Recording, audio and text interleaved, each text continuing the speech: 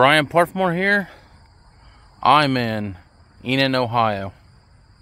I want to show you guys something in Enon, Ohio. It's actually down from the police station everything, so we got to show you this. It's the Indian Burial Mound. You see it? It's right in the middle of town. You got to drive around it. Hmm. So most squares have like circles and stuff like this. This has an Indian mound.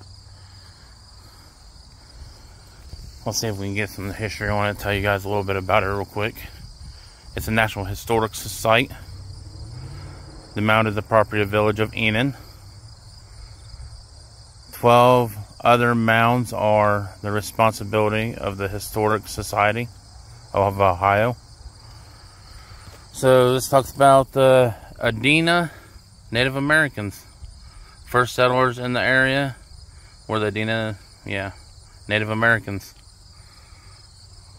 Known for their, wow, okay, Shawnee Native American Nation, George Rogers Historic Park Area, and Knob Prairie Mound Farm. The mound is 574 feet in circumference and 40 feet high. 1900s, it says on here. But this one says 52 BC to 1500 AD. These free nations were located in much of the Ohio. So here it is, the mound in the center of town.